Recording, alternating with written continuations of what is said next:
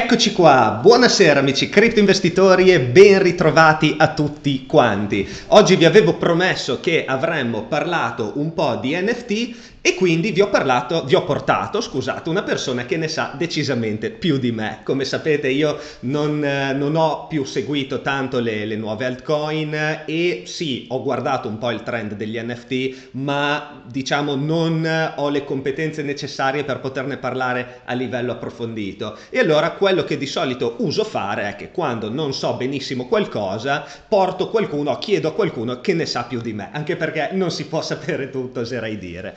Quindi vi ho portato Alessandro che dovreste già conoscere perché effettivamente ci eravamo già visti su questo canale, ve l'avevo già portato live proprio per parlare di temi simili, quindi blockchain gaming, NFT e insomma queste novità che ultimamente stanno spingendo parecchio. Noi ne avevamo già parlato mesi fa quando già erano calde, erano interessanti, ma adesso veramente sono una cosa allucinante. Quindi eh, Alessandro ve l'ho portato qui proprio per spremerlo una ventina di minuti perché perché poi non preoccupatevi, parliamo anche di grafici, lo so che voi state fremendo adesso per analizzare i grafici, però ho trovato interessante appunto anche trattare qualcosina sul tema NFT, quindi capire un po' in che direzione sta andando il mercato, quali sono i progetti più interessanti da seguire, se c'è qualche insight, quindi qualche piccola chicca che eh, lui che lavora di questo, cioè è esperto proprio del settore degli NFT, ci può dire. Quindi preparatevi anche qualche domanda, ve l'ho detto, questi primi 20 minuti minuti circa parliamo di NFT e poi continuiamo con le vostre domande e con il nostro solito live. Quindi vi chiedo questa parte iniziale per questi primi 20 minuti fate domande inerenti al tema degli NFT. Alessandro, innanzitutto ti saluto di nuovo, grazie per essere tornato sul mio canale.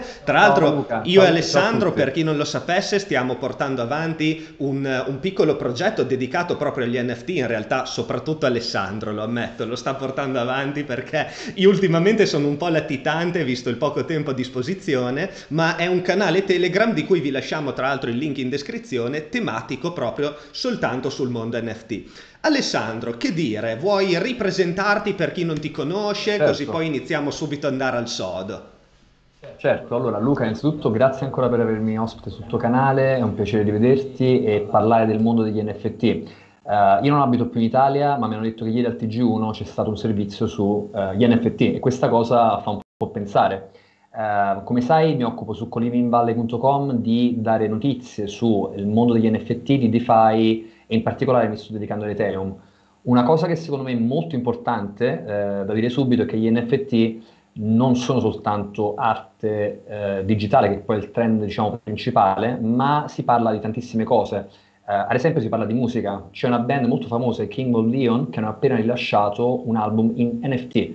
Per dirla un po' in maniera più semplice, se pensiamo agli NFT, andiamo un po' indietro nel tempo, pensiamo alle musicassette, alle, ai CD, ai DVD, ai Blu-ray, allo streaming, gli NFT sono semplicemente, alla fine dei conti, un nuovo formato per eh, imprimere nella blockchain un oggetto che può essere fisico o soltanto virtuale e poi eh, mantenerlo nel proprio wallet o rivenderlo a qualcun altro.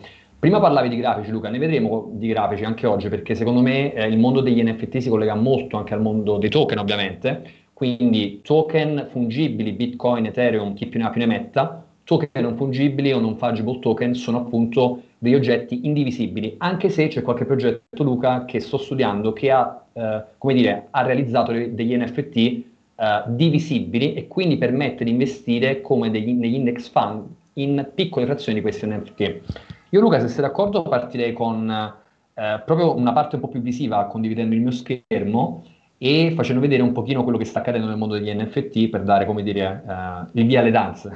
Molto volentieri Alessandro, tra l'altro prima fa- stavamo facendo due chiacchiere prima di iniziare il video che è il motivo per cui siamo arrivati un po' in ritardo perché mi ha fatto vedere delle cose che io ho detto wow, tra cui proprio questo discorso degli index fund, cioè ci sono delle sorte, adesso ve li farà vedere meglio lui, di indici di fatto per investire e diversificare, quindi chi non ha voglia di stare a acquistare e vendere NFT, è possibile utilizzare questa sorta di paniere che va a diversificare un investimento su diversi NFT. Veramente interessante, ma ha aperto un po' gli occhi su questa cosa. Comunque, adesso aspetta che ti abilito la condivisione dello schermo, tac, togliamo le nostre facce così si vede bene. E ehm, Alessandro, secondo te eh, quali sono al momento? Ti faccio una domanda da super neofita proprio, mi metto nei panni di chi ci sta seguendo. Quali sono i progetti NFT che vale più la pena seguire? Allora, una domanda molto interessante, ce ne sono davvero mh, moltissimi. Eh, dico innanzitutto che, come dicevi poco fa, sul nostro canale Telegram, quindi t.me slash marketnft, eh, noi parliamo tutti i giorni di questi nuovi progetti che stanno nascendo. Eh, ne parlo molto sul mio Twitter, Alex Nomads, dove tutti i giorni potete trovare delle notizie. E sicuramente qui vi faccio vedere il primo progetto.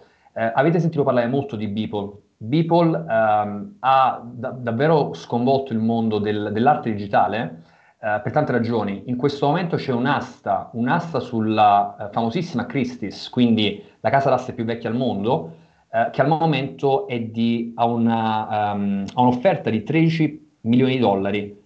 Questa asta scadrà tra circa 20 ore.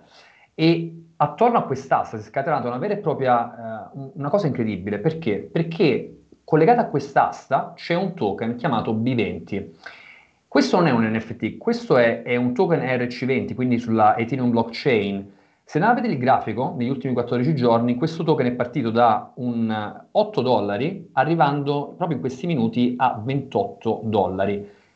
Perché questo token ha fatto questa salita incredibile? Beh, se pensiamo a Beeple come artista, un artista che ha già battuto il record per, in pratica, prima ancora che l'asta si concluda, per la vendita più alta nel mondo degli NFT nella storia, raggiunge queste cifre, e perché c'è molto, molto interesse attorno a B20 anche. B20 è il token che è legato eh, a queste opere d'arte. Se noi andiamo a vedere eh, in quello che fondamentalmente sta avvenendo nel mondo di Beeple, vediamo che ci sono molti NFT, quindi arte digitale, e vediamo che ci sono fondamentalmente dei metaverse all'interno di questo token il mondo dei metaverse fa parte proprio di, degli NFT. Eh, un'altra cosa che secondo me è molto interessante sottolineare sono i progetti che stanno avvenendo e che stanno avendo successo. CryptoSlam.io è sicuramente un sito che bisogna tenere sott'occhio perché se OpenSea fa vedere solo quello che avviene sulla Ethereum blockchain, CryptoSlam invece mh, uh, guarda al mondo, a tutto il mondo degli NFT. E come vediamo, uh, se ne parla tantissimo ultimamente, NBA Top Shot è il, il progetto sulla Flow blockchain che sta vendendo maggiormente. Negli ultimi sette giorni NBA Top Shot ha avuto delle sales, delle vendite per 51 milioni di dollari, uh, con 65 mila compratori. Numeri incredibili, ma è ancora più incredibile forse che con soltanto 161 compratori CryptoPunk, uh, che è il progetto più antico, per così dire, perché stiamo parlando soltanto del 2017, l'anno di creazione, ha venduto a soltanto 161 buyer, eh, compratori, 12 milioni.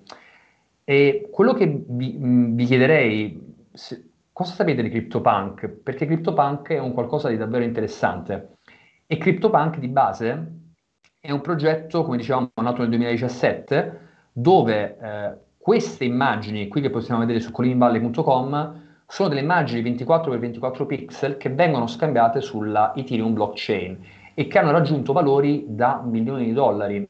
Un CryptoPunk è stato venduto per oltre 2 milioni di dollari e ci saranno sicuramente delle cifre eh, molto molto interessanti che avverranno nei prossimi, nei prossimi mesi attorno a Punk. Tra l'altro, scusa Alessandro, sbaglio sì, o i CryptoPunk sì. all'inizio sono stati tipo airdroppati o quasi regalati al tempo?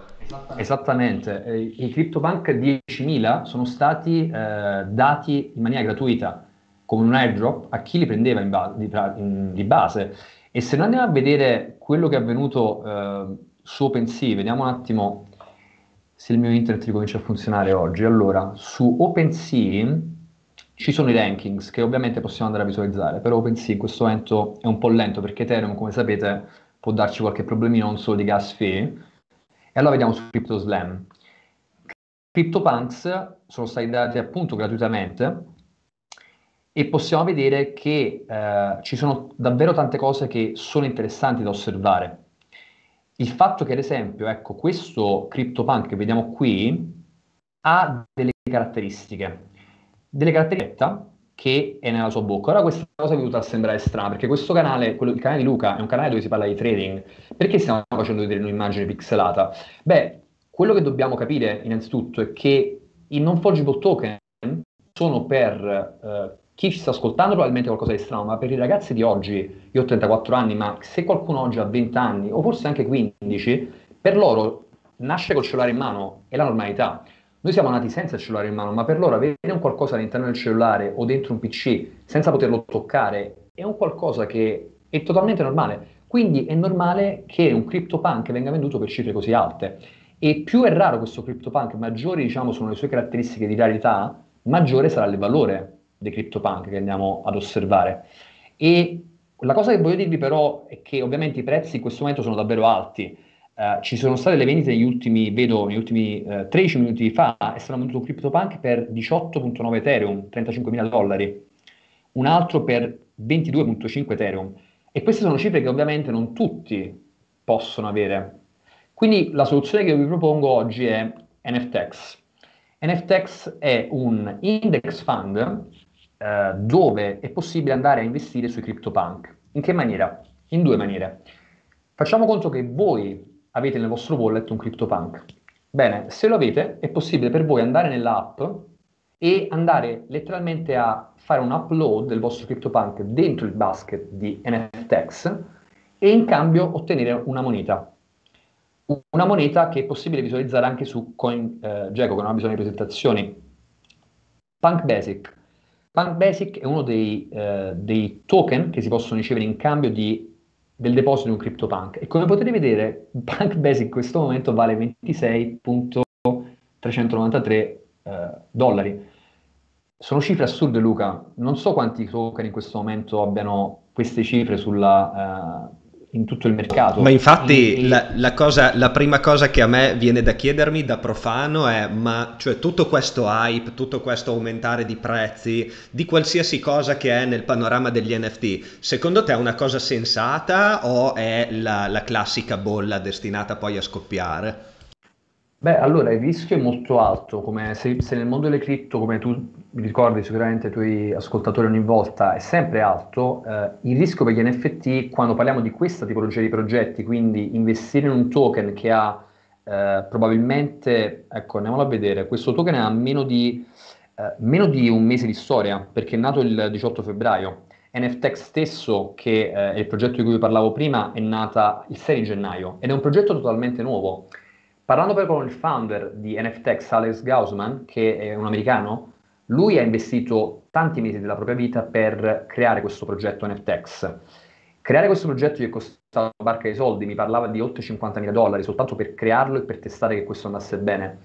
Dietro questi progetti ci sono degli sviluppatori eh, con le palle, cioè mi viene da dirti proprio in questa maniera un po' forse anche volgare, ma è questa la verità. Queste persone hanno investito notti e notti per creare questo progetto. Quindi se da una parte c'è il rischio del mercato che può ovviamente eh, crescere o, decrescere, dall'altra poi bisogna andare a vedere la, la realtà dei fatti e se su SushiSwap, eh, probabilmente ne avrei parlato tante volte, su SushiSwap è possibile creare, eh, partecipare a un, um, a un, liquidity pool e in questo momento c'è un liquidity pool di Punk ed Ethereum e, ed è possibile per tutti voi andare a vedere come sta andando il liquidity pool uh, di, di Punk. Punk Basic in questo caso è un token che abbiamo visto ha un, ha un volume eh, discreto e ha comunque un market cap di 3 milioni di dollari, quindi comunque non parliamo di bruscolini, parliamo di, di tanti soldi. Quindi tornando a noi, se ho un CryptoPunk posso inserirlo all'interno del basket e in cambio ricevere un token, che sarà quello di Punk, che ha un valore di 26.000 dollari in questo momento. Se invece non ho un CryptoPunk, ma voglio comunque essere esposto al mondo del CryptoPunk, in questo caso vado su, um, vado su Uniswap con un mercato decentralizzato, un exchange decentralizzato, e in quel caso posso acquistare anche una frazione di Punk, non devo spendere 26.393 dollari, posso spendere anche 10 dollari e in cambio prendo una piccola frazioncina di un Punk Basic, che è proprio il token di cui stiamo parlando. E questo è un consiglio che mi sentirei di dare eh, su questa pagina che dicevamo colinvali.com slash nft-collector sto un po' nel mondo degli NFT, quindi come si parte, ehm, da, che cosa sono gli NFT. Qual è il percorso che bisogna fare? Quindi creare un wallet Metamask, questo perché credo che più o meno tutti i tuoi ascoltatori abbiano un wallet Metamask, ma se non ce l'hanno è forse tempo di farselo.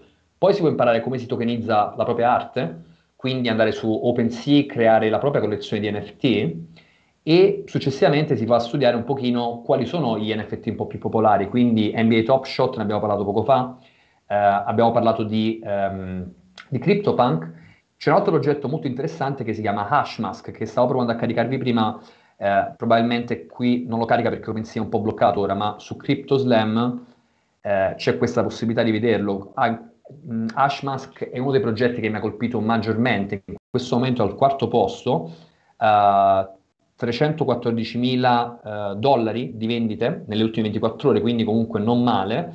Io personalmente ne ho presa qualcuna e spero che tutto insomma vada bene. La cosa interessante di Hashmask è che quando si investe in un Hashmask, uh, che vi faccio vedere, questa è un po' un'immagine, ma eh, c'è un articolo che, um, che ho creato su Coliving Valley che parla un po' della storia di Hashmask, quello che c'è alle spalle del, dei creatori, eh, fa capire che ci sono davvero degli artisti che hanno investito il proprio tempo per creare queste circa 16.000 immagini. Già Luca, già soltanto pensare di caricare 16.000 immagini, già questo è il lavoro. Poi sì, direi di sì. Trovare, trovare, la forza di fare qualcosa di interessante. Hashmask ha, eh, vendu- ha praticamente cosa ha fatto? Ha creato un fondo di questi Hashmask e poi successivamente hanno venduto 16 milioni di dollari in un solo weekend.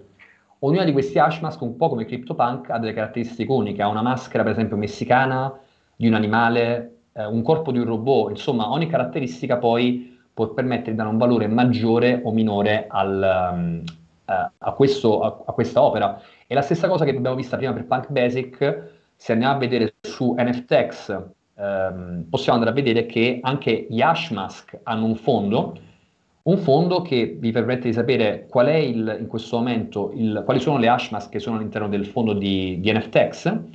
Se vi interessa però sapere quanto materialmente è il floor, quindi il prezzo base eh, di un hashmask, possiamo andarlo a vedere. Quindi andiamo qui su CoinGecko, andiamo a cercare mask, ce ne sono tre, cercate quello di NFTX, e qui potrete vedere che Hashmask fondamentalmente in questo momento vale 2000 e 479 dollari, quindi un prezzo molto inferiore rispetto a quello di CryptoPunk, quello di Punk Basic, ma comunque un valore interessante che ci fa capire una cosa, Luca, secondo me molto interessante per chiunque voglia apprendere sul mondo degli NFT.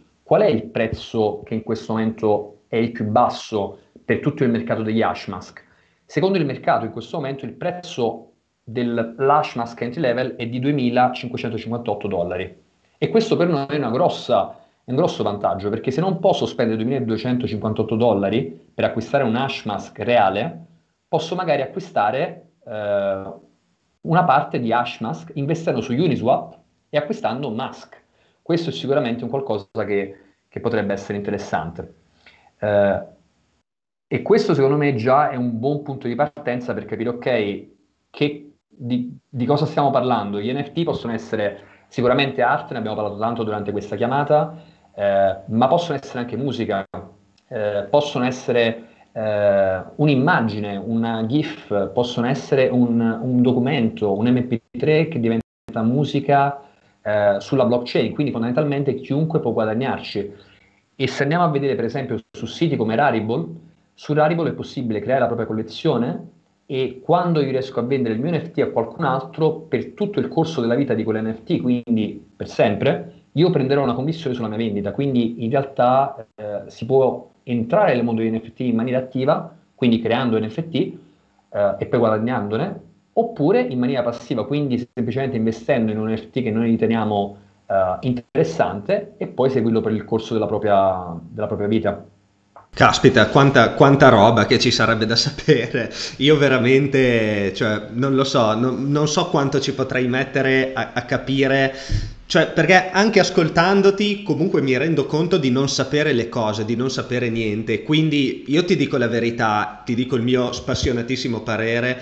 A me questo, questo, settore degli NFT un po' spaventa. Poi ti ripeto, non riesco ancora bene a capirlo, quindi da, da non capitore io preferisco starne per ora fuori e aspettare di vedere un po' come si evolve, anche perché mi spaventa veramente tanto questa apparente corsa all'oro che c'è da parte un po' di tutti. Ho visto addirittura Taco Bell che vuole fare i suoi NFT, ormai è veramente diventata una roba non lo so, chiunque si sta buttando a pesce sul fare i propri NFT. Io credo che certo. come un po' tutti i trend importanti, inizialmente si sviluppa la fase di bolla, dopodiché scoppierà, io mi aspetto questa bolla che al momento mi sembra sì. veramente al limite dell'assurdo ah, e poi ah, sì, rimarranno, sì, rimarranno, comunque sicuramente i progetti validi perché si vede che c'è della base valida e c'è un, un perché. È sbagliato dire gli NFT non hanno senso, punto. Però come tutte le cose, come è stato un po' anche la DeFi all'inizio, con i suoi APY quadriglionari, ecco, bisogna, bisogna, un po' anche fare un reality check ogni tanto. Certo. Ma io ti dico una cosa, Luca, io personalmente utilizzo due modi per, per informarmi. Il primo l'ho fatto vedere prima, a parte il nostro canale Telegram, eh, Twitter. Io su Twitter trovo davvero di tutto. Eh, in particolare posso dialogare con, con la community. Uh, cioè è interessante capire quello che la community pensa e negli ultimi giorni mi sono trovato a parlare con davvero tante persone e a ascoltare materialmente, a trovare informazioni. Per esempio, ti faccio vedere una cosa al volo. Poco fa qualcuno, una certa Cristina, ha pubblicato una cosa dicendo che qualcuno aveva appena investito 302 mila dollari in B20, che sarebbe il token di Beeple, quello che vi ho fatto vedere poco fa. Questa cosa probabilmente non l'avrei potuta sapere se non fosse stato su Twitter e immediatamente quando c'è stata questa diffusione di questo messaggio, il token ha cominciato a salire pesantemente. Uh, abbiamo notato appunto questa transazione semplicemente su Etherscan. Ovviamente è un mercato, Luca, che dobbiamo seguire. Tu segui tutti i giorni eh, il mercato cripto, diciamo, tradizionale. Ormai è quasi assurdo da dire, ma stiamo parlando di cripto tradizionale? sì, mentre è questo è diventato il cripto non tradizionale, come non fungible, in un certo senso.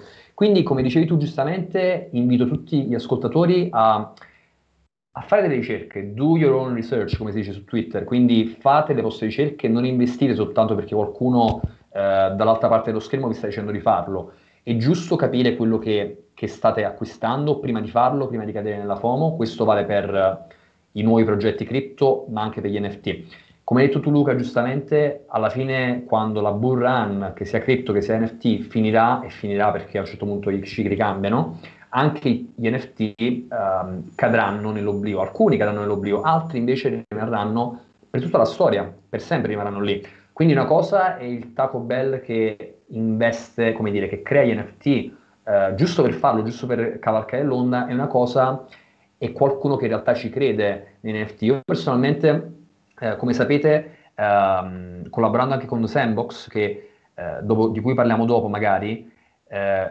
io credo molto nel mondo degli NFT e anche The Sandbox di cui tu hai parlato sul tuo canale YouTube, di cui abbiamo parlato in passato, fa parte degli NFT ed è come dire un qualcosa che si mette a metà strada tra NFT, quindi non fungible token, videogiochi e anche, virtu- e anche real, uh, real estate, quindi l'acquisto di una proprietà, però in questo caso nel mondo virtuale.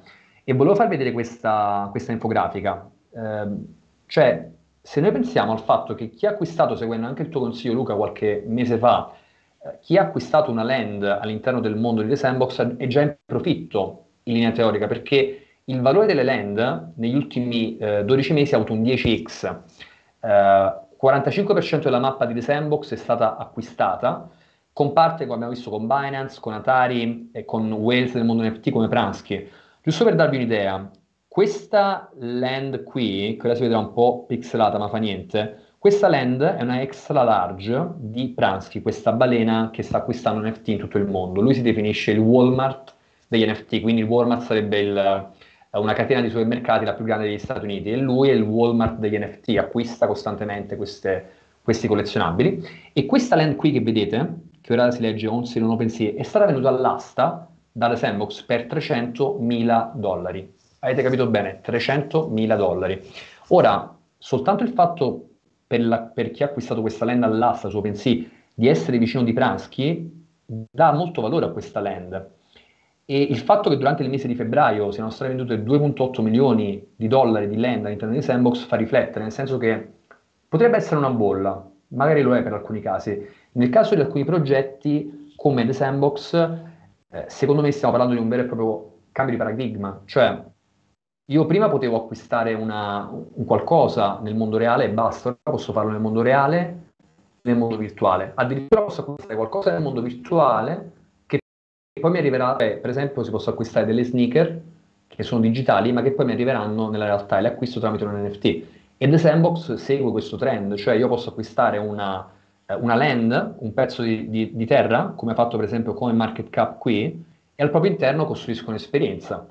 Eh, ieri mi trovo a parlare con una galleria d'arte qui a Barcellona che ho invitato a, a entrare nel mondo dei sandbox perché ci saranno delle esposizioni eh, che poi verranno fatte in questa realtà virtuale. Quindi ovviamente il mondo degli NFT è davvero vario, è difficile scegliere qual è il progetto eh, principale. Quello che vi, diciamo, secondo me è molto interessante come primo approccio è magari NFTX perché permette, come dire, di investire in un, uh, in un, in un basket, quindi come io investo in, in un ETF, eh, io posso investire in un basket in NFT senza però acquistare al 100% quell'opera e eh, ottenere un vantaggio qualora questa cosa vada eh, per il verso giusto. Questo ovviamente è una ricerca che, ripeto, dovete fare voi, non è un consiglio, ma è un qualcosa che secondo me vale la pena analizzare per vedere dove stiamo andando.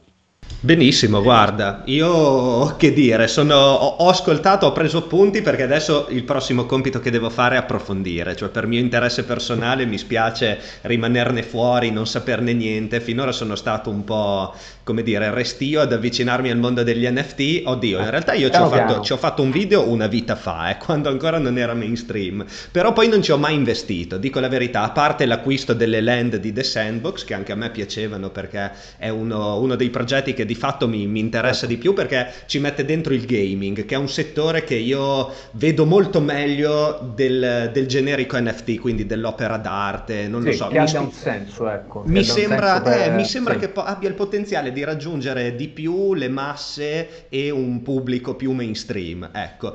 Comunque Ale, io ti terrei qui fino a domani per chiederti cose e farti domande, però qua altrimenti mi sparano, dicono bisogna no, parlare un sta. po' di grafici, qua Bitcoin fa l'all time mai.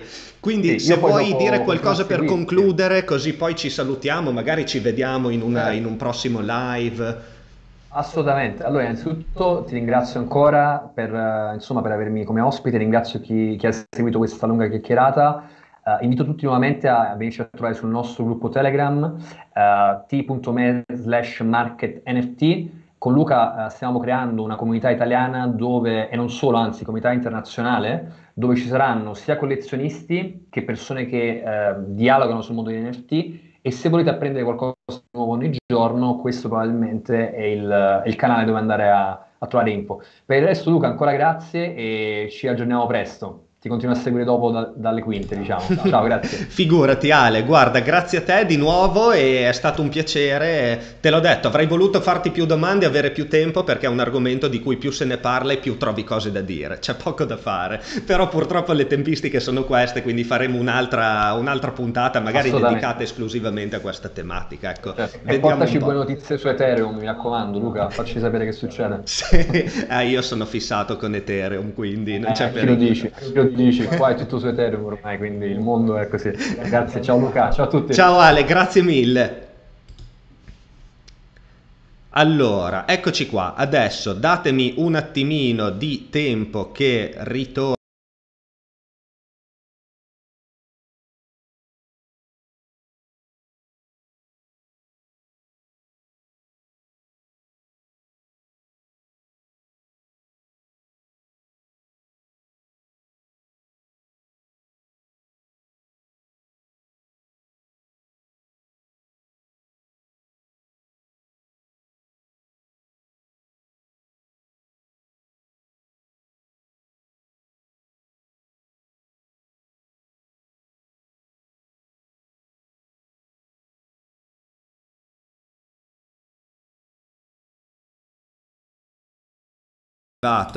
Eccoci, non avevo attivato l'audio, vedete, ce n'è sempre una. Vi sto leggendo, vi sto leggendo. Adesso si vede, si sente? Ditemi qualcosa, ditemi qualcosa.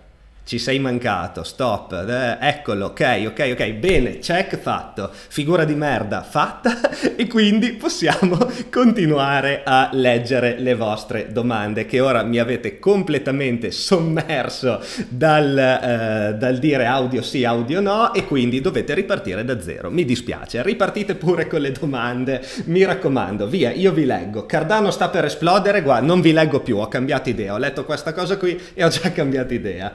Eh, no, il 31 marzo IOC esce fuori, che ne pensi? Non lo so, non so che cosa sia, non, non ho la più pallida idea. L'hai fatto per capire se eravamo bot, esatto, ma avete beccato. In realtà, no, è un delirio perché ogni volta che invito un ospite, adesso vi, vi spiego cosa succede, io devo usare Skype perché è l'unico compatibile con eh, OBS che fa la registrazione. Quindi devo switchare dall'audio di Skype all'audio mio, dal video di Skype al video mio e figurati se va tutto bene. Vabbè, torno da voi. Solana e Stellar, mi puoi dire qualcosa? Grazie, sei un grande. Allora, Stellar non mi convince granché, ti dico la verità. Al momento mi sembra un po' fermo lì, mi sembra che non stia facendo gras- grossi passi avanti. Mentre Solana, al contrario, mi ispira parecchio. Solana ultimamente ehm, ha fatto grossi passi avanti, nel senso, a parte che c'è dentro il nostro caro Sam che dove mette le mani solitamente trasforma in oro, ma a parte quello si sta integrando, sta creando un suo mondo DeFi parallelo.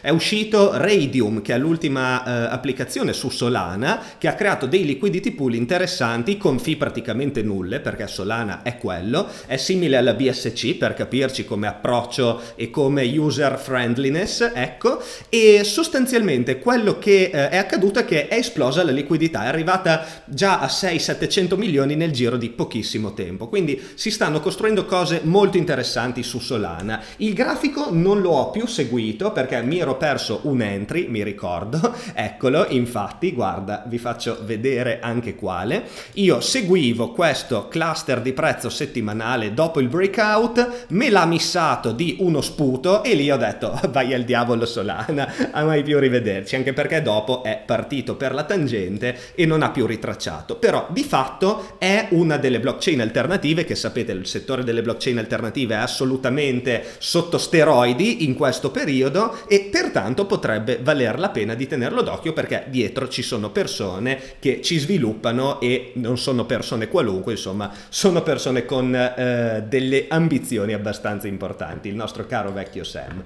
Quindi Solana assolutamente interessante.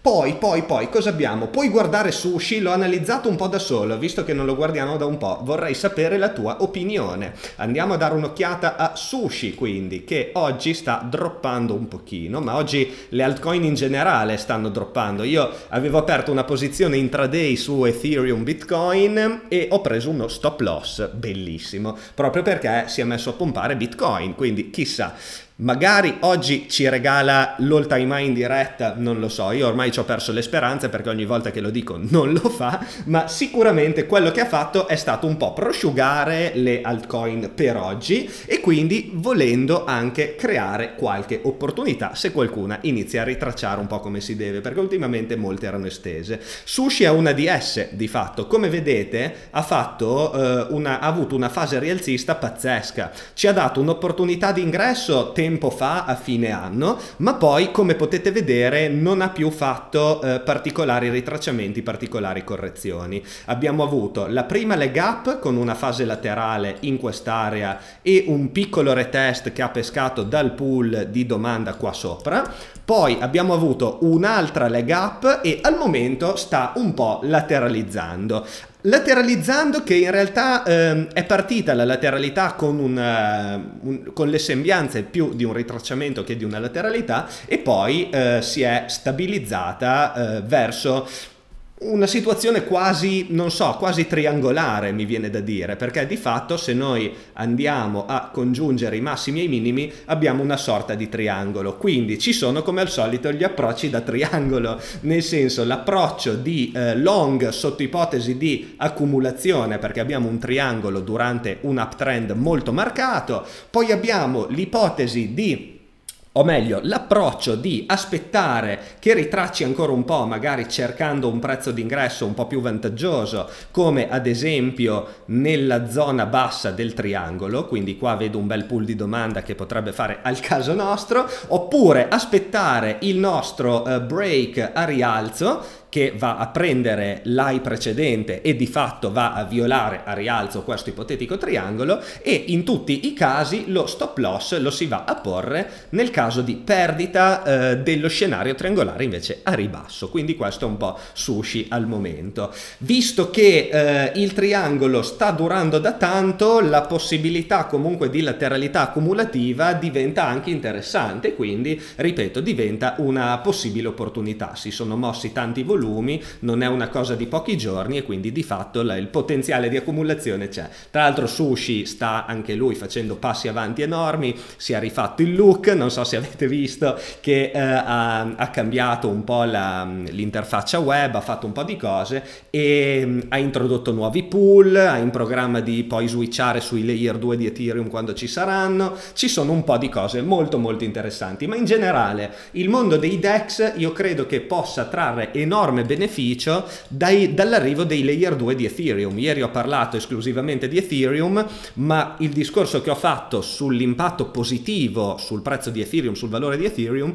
è estendibile anche ai DEX stessi, perché comunque se su SushiSwap, Uniswap al momento sono su Ethereum e sono quasi inutilizzabili, se poi vengono switchati su, um, su layer 2 diventano molto più facilmente utilizzabili, i volumi aumentano, le fee generate aumentano e capite molto bene che la, il valore di questi DEX è anche lui strettamente collegato al, al, all'emergere dei layer 2 e al successo dei layer 2.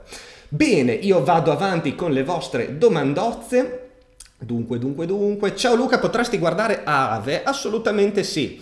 Quando converrebbe entrare su Send? Eh, Send adesso è volato abbastanza perché, tra l'altro, io ho letto che tra poco esce il marketplace su The Sandbox, quindi anche lì ci sono, eh, cioè c'è un po' di hype e di fatto adesso il grafico fa un pochino paura. È meglio forse attendere una fase di ritracciamento dopo una botta così parabolica. Poi anche Send, visto che The Sandbox è un po' dentro il mondo degli NFT, sta un po' subendo ecco, l'effetto hype che tutto il mondo degli NFT sta vedendo.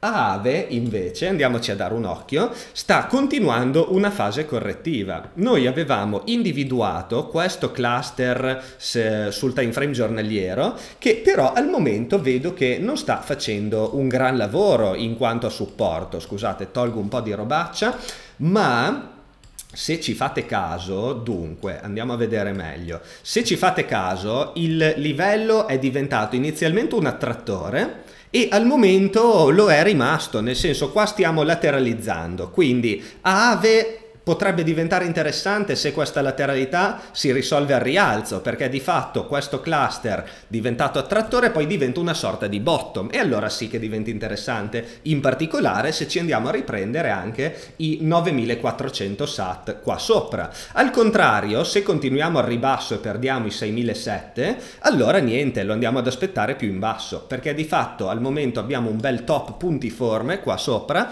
che non è che lasci presagire cose tanto buone. Inoltre c'è da considerare anche un'altra cosa, ovvero il fatto che la Bitcoin Dominance oggi ha avuto pam, un colpo di coda importante, ha fatto un più 2%, è arrivata al 62% e quindi la possibilità di prosecuzione dell'alt season, ve la ricordate, che implicava ehm, l'andare a perdere il 60%, si è ridotta drasticamente. Quindi, di nuovo, per andare a esporci in altcoin occorre, conviene, o meglio, attendere una, una maggior chiarezza nel quadro del, proprio del, del panorama altcoin. Ecco, bisogna capire un po' che intenzioni hanno e questo dipende poi fortemente da BTC perché se BTC fa nuovi massimi io mi aspetto che la dominance fa un altro candelozzo verde e addio. E bene, quindi continuiamo con le vostre domande. Io ho visto prima una domanda, ve, l'ho letta mentre parlava Alessandro, che a un certo punto mi ero un po' perso.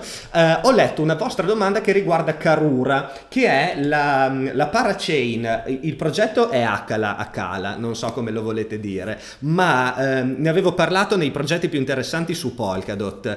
E, il, e Karura è la sua versione sulla blockchain Kusama. Con questi nomi mi perdo completamente. E ehm, c'è la waitlist, è aperta la waitlist per partecipare al Parachain Lease Offering, che pronuncia, eh, di Karura su Kusama. Ok, ho detto tutto giusto. Se vi interessa, ecco, è qui. Ovviamente cercate di capire di che cosa si tratta senza buttarsi alla cieca, però ripeto, è un progetto molto molto interessante a mio parere. Do your own research, come si suol dire. Allora, allora, allora, andiamo avanti. Potresti guardare Reef USDT? Allora, assolutamente sì. Anche Ultimamente è abbastanza sotto i riflettori. Reef USDT effettivamente sta andando bene perché anche lui, vedete, è, in, beh, è, recente come coin, è un uptrend con una fase laterale e quindi valgono un po' le stesse ipotesi che avevamo detto poco fa, no? quando abbiamo parlato del, um, di Sushi Swap e abbiamo mostrato appunto questo triangolo in una fase, in un macro fortemente rialzista. Triangolo si può dare per ipotesi che sia um, un triangolo accumulativo, quindi una fase accumulativa, se così fosse ovviamente valgono eh, va, vale lo stesso approccio, quindi un long con stop loss in caso di violazione di trasformazione poi in un triangolo ribassista, altrimenti attendere la violazione del primo high, altrimenti aspettare magari che in realtà ci troviamo già quasi sulla Oddio, non ancora, però comunque andare esatto a creare una posizione long, a costruire una posizione long, cercando di grattare il più possibile dalla base inferiore del triangolo, in modo da avere poi lo stop il più stretto possibile, che diventa ovviamente più vantaggioso per noi.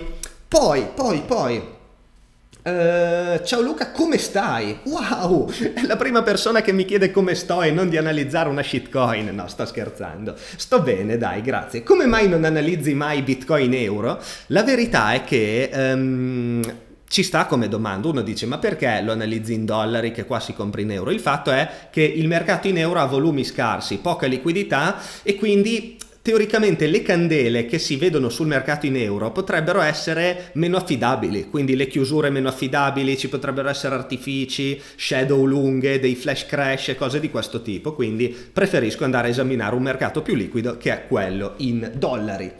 Eh, posso aprire il wallet di Trust Wallet in Metamask? Oddio, oddio, oddio. Dunque, se esporti la chiave privata, sì. Se utilizzi il seed, secondo me anche, perché di fatto tu prendi il seed di Trust Wallet, lo metti in Metamask, ti importa la parte Ethereum ovviamente, non tutto il resto. E, e, basta, mi vengono in mente questi due metodi. Non è il massimo, eh, lasciami dire, perché comunque tu devi scrivere il tuo SIDO alla tua chiave privata su un PC online dal punto di vista della sicurezza non fa proprio impazzire come cosa, però vabbè, è un po' un discorso forse da paranoico. Um, ciao, cosa ne pensi di Swissborg? Eh, non, non ti so rispondere perché eh, non l'ho mai usato, non conosco bene la piattaforma, purtroppo. Ciao Luca, ho una posizione importante aperta da un paio di mesi in BNB. La scalata l'ho fatta tutta praticamente. Vorrei un consiglio da te. Se vale la pena tentare di tradare per macinare monete o lasciar perdere e vederlo crescere nel lungo. Non mi sento confident nel tradare BNB. Guarda, non io non, non, posso dare consigli ovviamente, però lascia che ti dica una cosa. Tu hai detto, ti sei risposto da solo. Non mi sento confident nel tradare BNB, non tradare BNB. Evita di farti del male evita veramente di, di, buttare via soldi in questo modo. Magari fai un piccolo take profit se reputi che hai fatto un profitto interessante, altrimenti se ti interessa, se vedi del valore futuro crescente in BNB, tienilo, nessuno ti impedisce di tenerlo e nel frattempo magari metterlo a rendita sui launch pool, su PancakeSwap, su varie applicazioni DeFi, insomma di metodi ce ne sono in abbondanza, però se non ti senti confident lascia perdere il trading perché è una loss garantita al 100%. 100%. Ciao Luca, cosa pensi di Kusama? Ci sono news su Polkadot? Di Kusama penso tante belle cose. Riguardo a Polkadot, te l'ho detto, c'è, cioè in realtà riguardo a Kusama, c'è Karura che sta uscendo, c'è la waitlist e poi ci sarà Akala su DOT, ma più avanti, anche perché le prime parachain su DOT usciranno tra un po' di tempo. Teta che ne pensi? Ottimo progetto Teta di, di, streaming video, di una sorta di Twitch decentralizzato, una cosa di questo tipo. L'ho studiato un po' e ho visto che c'è Teta che è il governance token e poi c'è il T-Fuel che è il token che viene in realtà regalato a chi streama, a chi guarda, è una sorta di incentivo, un po' come era BAT per Brave, no? un incentivo da dare tra eh, tra lo streamer e lo spettatore o viceversa, tra uno spettatore e l'altro, insomma è una piccola economia interna basata sul, um, sui video trasmessi, sull'attenzione che uno dà, sul seguito e sul rapporto poi tra streamer e viewer. Ci sono delle partnership interessanti che è questo che lo rendono comunque più interessante appunto scusate la ripetizione da seguire come quella con Sony. Ho notato che l'ultima è stata proprio Sony. E di fatto il grafico di Teta effettivamente ha avuto una, una bella impennata recentemente ha rotto i massimi.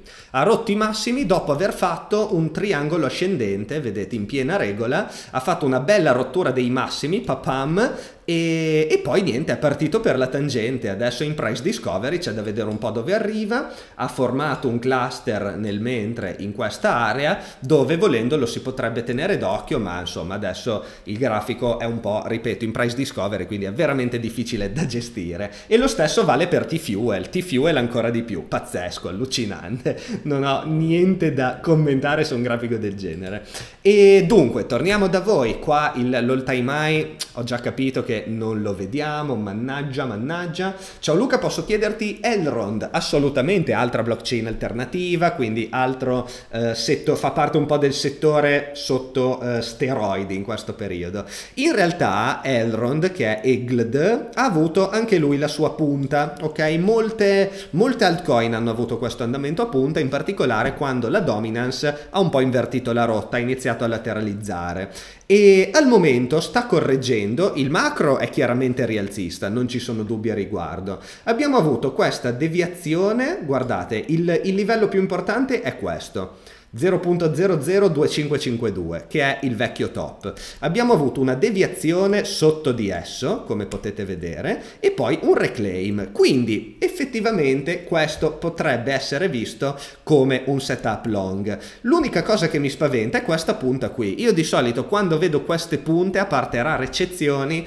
tendo ad allontanarmi un po' dal grafico perché è difficile recuperare un trend rialzista con un top così forte, così localizzato. E quindi qua non credo che farò eccezione. Ma al momento in generale il panorama delle altcoin vi starete anche accorgendo perché non condivido più nulla su Telegram, non lo sto seguendo. In realtà ho aperto una posizione su Ethereum da bravo psicopatico quale sono che non riesce a fare a meno di avere una posizione su Ethereum. Tra poco ve la mostro quando analizziamo i grafici. Però al di là di quello le altcoin non è che le abbia ehm, particolarmente ecco, seguite proprio perché ci sono molte formazioni di potenziale top e c'è un rischio veramente elevato. Preferisco non correrlo nel dubbio.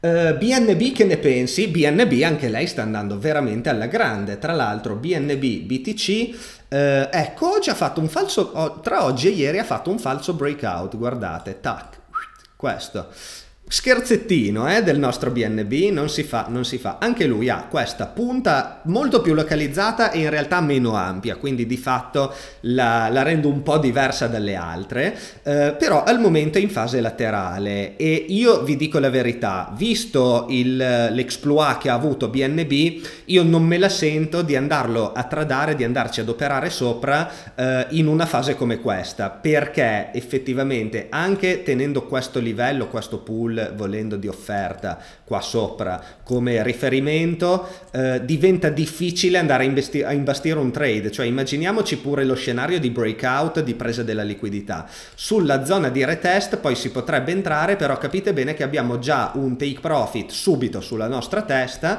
e eh, di contro abbiamo lo stop loss che è pressoché equidistante, no? Vedete, non c'è un rischio rendimento particolarmente favorevole e quindi questo un po' mi allontana. Ecco, poi questo ovviamente non tange tutto il discorso da investitore in BNB, perché di fatto BNB Secondo me è una coin su cui ha senso essere investiti, ha senso investire e questo ovviamente è il mio parere che poi di fatto si traduce in quello che faccio, lo sapete molto bene, in quanto utilizzatore di, di Binance, in quanto utilizzatore della Binance Smart Chain, eh, nonostante, ripeto, so che è centralizzata, conosco i suoi difetti, però la utilizzo perché offre opportunità interessanti e quindi è nostro dovere un po' seguire queste opportunità. Ecco, dunque, continuiamo. Tra poco arriviamo, eh, vado a esaminare subito i grafici, eh, due minuti e ci siamo.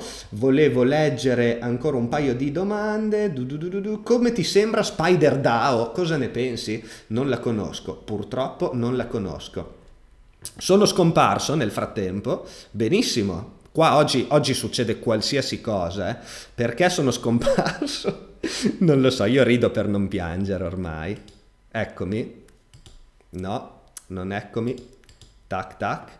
Allora, niente, facciamo, facciamo, una cosa. Mi riaggiungo, facciamo così, dispositivo di acquisizione video, aggiungi sorgente, tac, tac, tac e tac.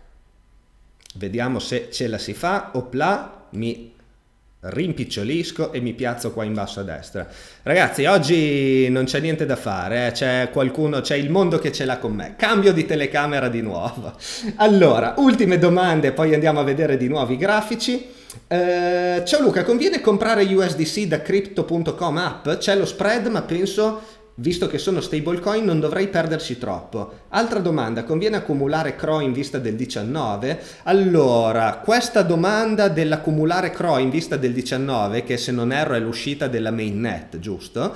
Eh, me la state facendo in tanti e questo mi, mi fa pensare, ma non è che, visto che tutti se lo chiedono, poi sarà un non evento? Ecco, non lo so, non so cosa dire. Io eh, evito di solito di andare a operare in questo modo, ovvero andare a dire, ehm, vediamo abbiamo, eh, cioè, visto che c'è una, una notizia certa che tutti conoscono, Secondo me ha un impatto positivo, secondo molti ha un impatto positivo perché poi è una notizia positiva, andiamo a acquistare la coin in anticipo. È imprevedibile poi quello che accadrà sul mercato, quindi la mia risposta è di scremare di queste notizie, scremare a riguardo di queste notizie.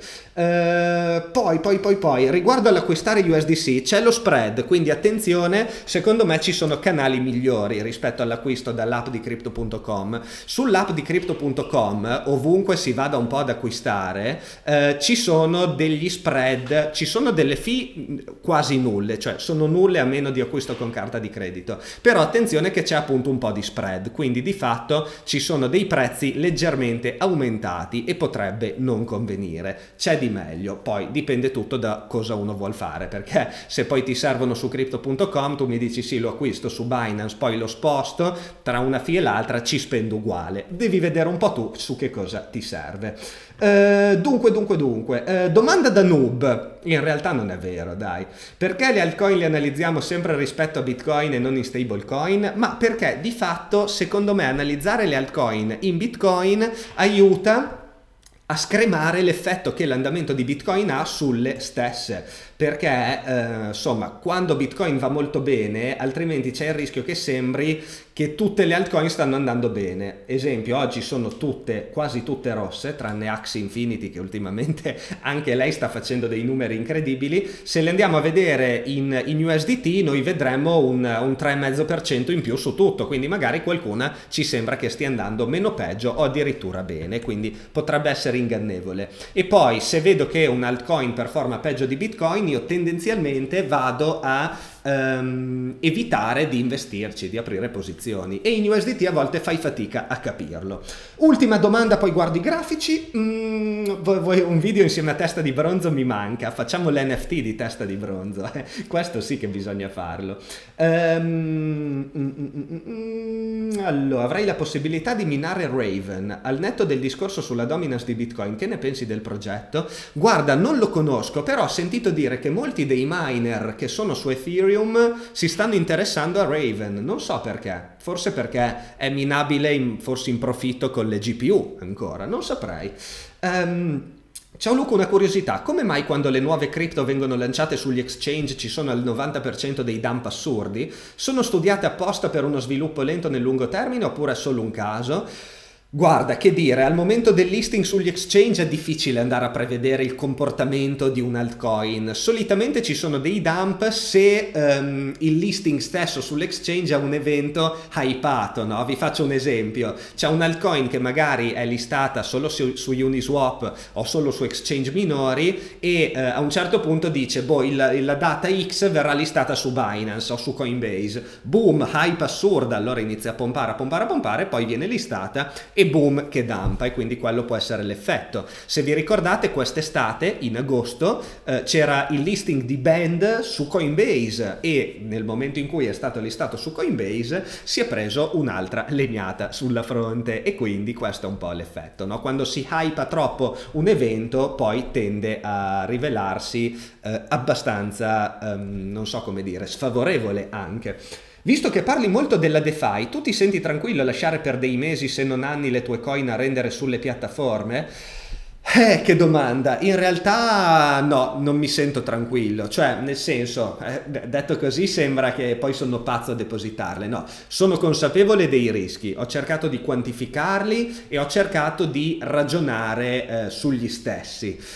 Poi uno prende le decisioni, cioè non è che poi c'è o bianco o nero, uno sceglie quanto depositare su ogni piattaforma, uno può diversificare per ridurre il rischio. Chiaro è che tu ottieni un rendimento ma non è risk free, risk free scusate. Ehm, quindi bisogna capire, farsi la domanda, vale la pena correre questo rischio per ottenere questo rendimento? E se la risposta è sì, quanto esporsi a questo rischio per ottenere questo rendimento? E poi si decide un po' quanto andare a depositare. Io personalmente eh, vi ho mostrato quanto poi di fatto vado a depositare sulle piattaforme DeFi, alcune le posizioni più grosse che ho, che è quella su Curve, l'ho coperta con l'assicurazione con Nexus Mutual e pertanto sto un po' più tranquillo su quella. Poi anche sulla CEFAI, eh, bisognerebbe aprire una parentesi, perché di fatto esistono dei rischi anche lì.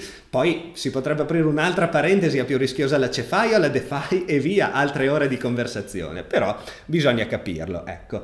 Ciao Luke, cosa ne pensi di Pax Gold e quali sono i rischi? Guarda, Pax Gold è regolamentato, è erogato da Paxos, che è appunto un'azienda regolamentata dal, dal Dipartimento Finanziario di New York e mm, gli, i lingotti d'oro che hanno come sottostante sono tracciati reali, quindi io lo reputo un, uh, un, token sicuro, uno strumento sicuro per investire sull'oro. Amici, amici, amici, io adesso vado a vedere i grafici. Qua di all time high non se ne vuole parlare perché io vedo che Bitcoin è sempre lì che zucca, zucca, zucca, ma non spinge. Quindi sicuramente quello che accadrà sarà che spinge appena terminiamo il live. No, scherzi a parte, noi eravamo rimasti rimasti a, ehm, nell'osservare i 52k, questa area, e avevamo detto ci sta a cercare il long in caso di reclaim su ipotesi di accumulazione. Io personalmente non mi aspettavo neanche che andasse direttamente ai massimi, cioè mi ha stupito un po', ma ormai ho imparato che non mi devo più far stupire da Bitcoin. La cosa che ho fatto tempo fa e che sono contento di avere fatto, più o meno ci trovavamo qua, è stata chiudere lo short e non riaprirlo. Ho detto meglio aspettare un attimino, visto l'andazzo. E di fatto al momento la costruzione, la, il pattern di prezzo che si sta formando su Bitcoin è clamorosamente bullish. Perché? Guardate, qua ci sono i massimi, ok? La chiusura è a 57k, 57 57,5. Andiamo a vedere il settimanale, idem, 57,5 pure lì. E la cosa pazzesca è che sembra che lo abbiamo recuperato, nonostante la forza del dump, sembra che lo abbiamo recuperato nel giro di solo, un solo swing. Cosa vuol dire? Vuol dire che noi abbiamo avuto lo, lo swing ribassista, cioè il movimento ribassista, leg down, chiamatela come volete. Poi abbiamo avuto una reazione molto forte sui supporti che avevamo identificato, quindi si è comportato in maniera veramente da manuale Bitcoin, è andato a prendere i 44-45k il pool di domanda che si trovava qua giù come eh, supporto che effettivamente ha tenuto botta. Poi Dopo aver respinto con una botta di domanda e un po' di lateralità abbiamo avuto una seconda leg up che non ha mostrato pietà, non ha mostrato neanche un po' di attesa. Abbiamo avuto una leg up, poi un retest di questa area di supporto che si è confermata poi supporto perché quando eravamo qui era difficile dirlo visto questo falso breakout. Breakout, retest, continuazione rialzista, presa pure dei 52k e adesso c'è un po' da vedere qual è il limite. The sky's the limit si suol dire, perché qua siamo ai massimi già e non c'è ancora traccia di ritracciamento. Quindi questo di fatto diventa un equal high e un equal high in questa maniera va a sancire con ottima, altissima probabilità quello che sarà un costrutto di continuazione rialzista. Perché, parliamoci chiaro, dopo un equal high qua sopra, l'unico modo per avere un andamento eh, di continuazione del ritracciamento è andare di nuovo a perdere il low fatto a 45k, cosa che al momento è decisamente difficile. Fin tanto che ciò non accade, questo rimane un costrutto di accumulazione. Questo è il bello di aver fatto l'equal high. Quindi porte aperte a cercare il long al momento. Dove si può cercare questo benedetto long? E qua arriva il difficile, attenzione ragazzi, sento l'energia di Bitcoin. Potrebbe essere il momento. No. Dove andare a cercare il long? Questa è la domanda difficile, dicevo, perché il primo supporto un po' come si deve è questo cluster nella zona 52k e secondo me adesso mentre parlo di questi cluster Bitcoin spara, va in price discovery, mi fa un dito medio gigantesco e non lo vediamo mai più. E poi bisognerebbe andare a vedere sui time frame intraday perché di fatto l'altro eh, livello di supporto eh, più vicino, più prossimo al prezzo attuale si vede solo lì. Ed è esattamente questo. 54k e dintorni. In particolare c'è un mini range che vede i 55k sopra e i 53,5 sotto. Pool di domanda qua sopra, pool di domanda qua sotto. Quindi questa è una possibile entry area sul breve, ok? Attenzione a non confondere l'entry area sul breve con eh, un costrutto più generico, perché guardate comunque anche sulle 4 ore l'importanza dei 52k, vengono testati qui, testati qui, testati qui e effettivamente sono il livello più importante, non c'è nulla da dire. Pertanto andare a cercare l'ingresso qua andrebbe a, a, permetterci un entry su un prezzo medio abbastanza accettabile eh, immaginando che questo è un costrutto accumulativo. È un po' non dico il punto medio ma quasi. E quindi abbiamo un profilo di rischio rendimento eccellente anche senza fare il trade speculativo ok? Il che vuol dire che non c'è bisogno di andare a mettere lo stop loss appiccicato ma possiamo ad esempio andare a mettere lo stop loss addirittura sotto i minimi. Perché una posizione veramente di ampio respiro che può costruire al momento è quella di andare a prendere il long qua e il long qua. Abbiamo due cluster che eh, fanno il loro lavoro in maniera egregia di, di, di, punti chiave di prezzo e quindi entry 1, entry 2, stop loss sotto i minimi. Questa è la classica posizione più di ampio respiro, più cauta, più accumulativa. Mentre la posizione più speculativa per chi ha più fretta di entrare prevede invece l'andare a colpire proprio questa zona qua. In che modo? Beh, eh, ripeto, primo livello potrebbe essere 55k, secondo livello 53,5 e poi volendo anche i pool sopra e sotto. Però a questo punto dobbiamo decidere dove andare a posizionare lo stop loss. Non è facile eh, se ci pensate perché la prima cosa che verrebbe da pensare è bene lo metto in caso di perdita di questo livello oppure di chiusure qua sotto. Però caspita abbiamo appena sotto questo livello di supporto quindi è veramente un peccato andare a mettere lo stop loss qui che magari succede esattamente questo che il supporto fa il suo lavoro. Allo stesso modo potremmo dire in caso di perdita di questo supporto ok? Questo forse è lo stop loss più sensato per un approccio del genere il che comunque vedete che lo pone un pelino lontano ok? Dall'entry, dal primo entry eventuale. Altrimenti, però, capite che anche se lo andiamo a mettere qua, c'è vicino il secondo supporto. Altrimenti si può fare un lavoro che non bisognerebbe mai fare, tendenzialmente, che è quello di andare a iterare la posizione al ribasso. Quindi dire entry 1, entry 2, volendo. Se poi continuiamo la discesa, entry 3, entry 4. Però bisogna calcolare bene in anticipo i size complessivi. Non è che si può continuare a ad aggiungere posizioni alla cieca durante il ribasso. Questa sicuramente è una, un'opportunità di costruzione di una posizione long mediando anche il prezzo a ribasso, perché di fatto ci sono un po' tutte le carte in regola, però bisogna calcolare molto bene il size prima di aprire la posizione, altrimenti diventa un casino. Pertanto ragionare sul size e poi decidere quanto voglio concentrarne sulla posizione di breve, quanto voglio concentrarne sulle posizioni più caute, vado a caricare di più qui perché io ci tengo a non missare la posizione, vado a caricare di più qui perché ci tengo al rischio rendimento migliore, vado a caricare di più qui perché un po' di qua, un po' di là, un, un punto medio, non lo so, qua sta la scelta di, di ognuno di noi. E poi in questo caso lo stop loss lo si va sempre a iterare nel, in caso di perdita del supporto che al momento ha tenuto, perché di fatto andrebbe a invalidare il... Um, quel costrutto, ripeto, di lateralità al momento con potenziale accumulativo molto alto di equal high che si è venuto a costruire. Questa è la mia visione su Bitcoin. Il bearish scenario, quale può essere lo scenario ribassista? Beh, innanzitutto il vedere una reazione smisurata da parte dell'offerta nell'approccio con i massimi. Quindi, ad esempio, se vediamo un candelone rosso del genere, di sicuro non promette bene. Altrimenti, se qua c'è una, una, reazione dell'offerta sensata, l'altro, uh, bearish, uh, l'altro scenario bearish è la perdita uh, del low. Altrimenti altrimenti finché rimaniamo qua dentro siamo in lateralità con, ripeto, eh, tendenza dal punto di vista statistico, maggior tendenza accumulativa. E questo è quanto per ciò che riguarda BTC.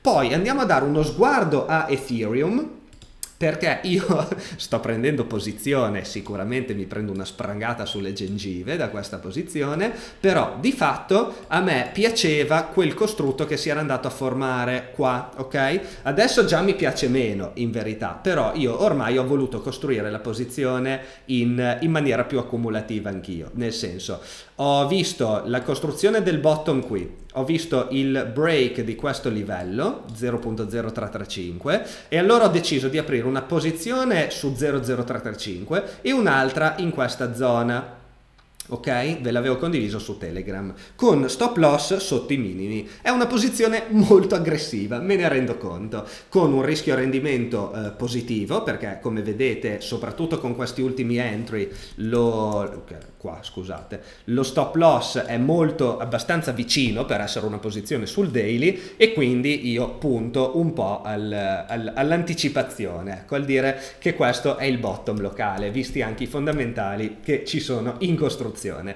Staremo a vedere perché qualcosa mi dice, ripeto, che se Bitcoin continua a pompare io quello stop loss me lo prendo, ma sono pronto a correre il rischio, l'avevo comunque preventivata la possibilità. Bene amici, questo è quanto oserei dire. Io adesso vi devo, mi, mi duole dirlo, ma vi devo salutare perché abbiamo superato l'ora di tempo. Io spero che eh, nonostante so che vi interessano molto i grafici, vi interessa molto il mercato, spero che abbiate apprezzato anche quell'intro di una ventina di minuti che poi è diventato una mezz'oretta dove abbiamo parlato degli NFT. Io credo che sia sempre buona cosa andare a, ad ascoltare, ripeto, più voci, lo sapete che io ormai sono quello dei, delle analisi a due teste e eh, in particolare questo vale quando si parla di tematiche di cui magari io non conosco bene i dettagli come può essere il mondo degli NFT. Certo è che parlarne per 25 minuti rischia di essere una confusione più unica che rara perché ci sono talmente tante di quelle informazioni da dire che eh, la metà bastano. Io che dire, spero che capiterà occasione magari di approfondire. Io vi aspetto, noi vi aspettiamo perché io e Alessandro abbiamo quel gruppo su Telegram sugli NFT di cui poi vi lascerò su YouTube il link in descrizione se vi va di entrare, che al momento gestisce di più lui di me perché io ho veramente un sacco di impegni e lui soprattutto è molto più sul pezzo di me sugli NFT, però che dire, vi aspettiamo lì, c'è tanta informazione tutta gratuita come al solito. E basta, io vi saluto teniamo d'occhio Bitcoin che magari ci fa l'all time high stasera e domani ci svegliamo con... Oh, eccolo! No, non ancora. Ho avuto un'illusione, ho visto più 4%, ho detto l'ha fatto, no, in realtà no. Domani invece vi do un altro appuntamento con eh, un'altra tematica diversa dal, dal mondo dei grafici dal mercato, che è il fantastico mondo delle tasse, che tutti amiamo, lo so, lo so che voi amate il mondo delle tasse su Bitcoin, però anche in questo caso ho chiamato un professionista, me l'avevate detto anche voi di farlo, un avvocato, tributarista e dottore commercialista, tutto insieme persone con cui parlerò proprio di quello e voi gli potrete fare tutte le domande che volete. Il live è su YouTube, eh, non su Twitch, perché poi su Twitch noi ci rivediamo venerdì per parlare invece come al solito solo di grafici e solo di mercato, così siamo tutti felici e contenti. Amici, vi faccio un carissimo saluto e ci vediamo domani e dopodomani. Ormai ci vediamo tutti i giorni. Ciao a tutti!